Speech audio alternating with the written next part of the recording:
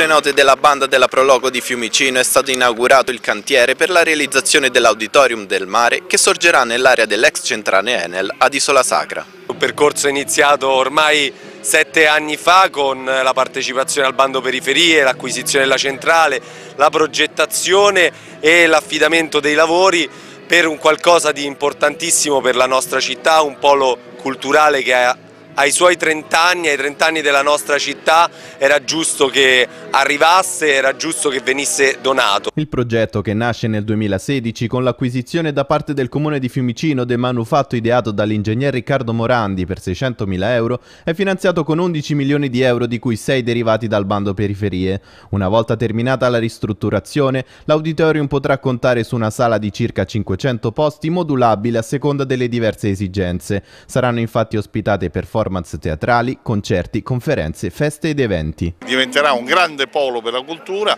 un grande polo per i giovani e naturalmente per tutte le persone che vorranno passare, vedere una mostra, sentire musica. Sindaco, lo sai, i fiumi cinesi sono come San Tommaso, quando si prevede il taglio del nastro, l'inaugurazione?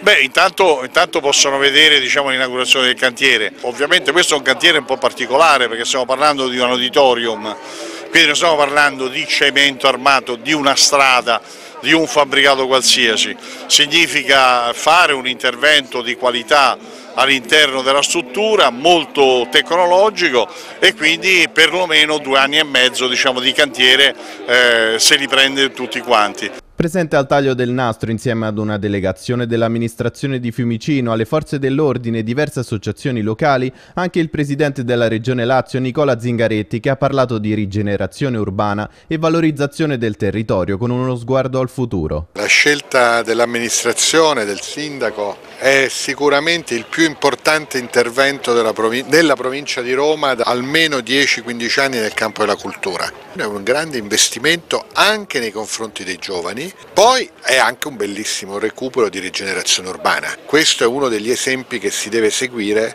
per fare buona amministrazione. È partito quindi il countdown per l'inaugurazione di un polo culturale che si candida ad essere tra i più importanti del litorale laziale. Da Fiumicino per Canale 10, Francesco Ferraro.